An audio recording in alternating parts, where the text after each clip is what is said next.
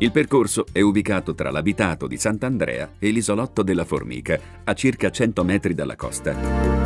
Le boe di ormeggio sono ancorate sulla sabbia, dove l'acqua limpida lascia una visione d'insieme di notevole effetto visivo. Il fondale verso riva è ricoperto da una fitta e rigogliosa prateria di Posidonia. Verso il largo invece è caratterizzato per un tratto da emergenze di roccia granitica che si ergono per 4-5 metri da un fondale di 15-20, fino a raggiungere un'orlata di scogliere che precipitano in fondali più impegnativi.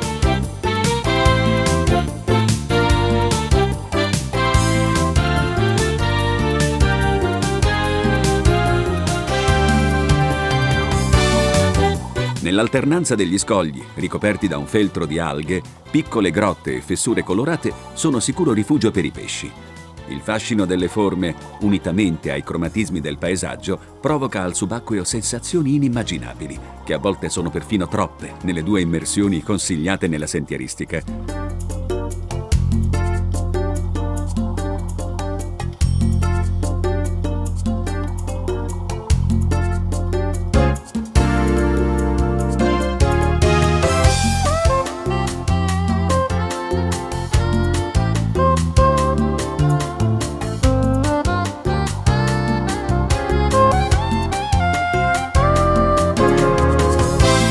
È proprio qui, sul fondale del Careno, che la vita subacquea vide la luce.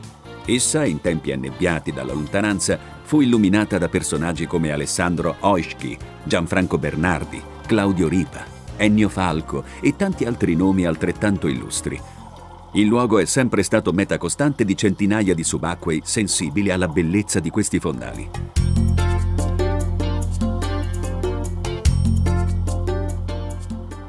Un sito mirato è quello del Careno, sia per la suggestione della terra emersa, con splendidi susseguirsi di alte pareti di rocce granitiche e minuscole insenature incastonate come gioielli nella costa, sia per l'esuberanza della vita sottomarina che prospera in questi fondali rocciosi. Ovunque risaltano i colori dei poriferi, che in varie stranissime forme invadono ogni fessura, tessendo un tappeto multicolore.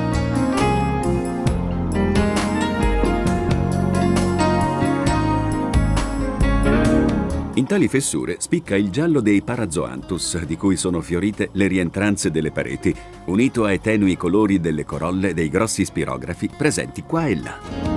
Nel mese di agosto queste scogliere sommerse sono percorse da forti correnti che sono la ragione della straordinaria ricchezza di vita sottomarina, stanziale e di passo.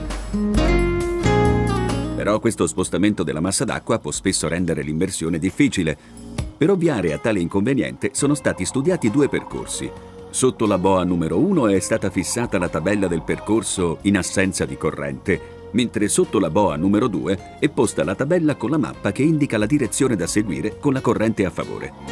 La ricchezza del substrato, la varietà e la qualità delle specie presenti e la possibilità comunque di incontri con branchi di barracuda, di ricciole che vengono dal blu e ti girano intorno, scrutandoti con quei grandi occhi neri e rotondi, dentici dubitosi che ti passano a poca distanza, fanno del Careno di Sant'Andrea una tappa obbligatoria nel curriculum di un buon subacqueo.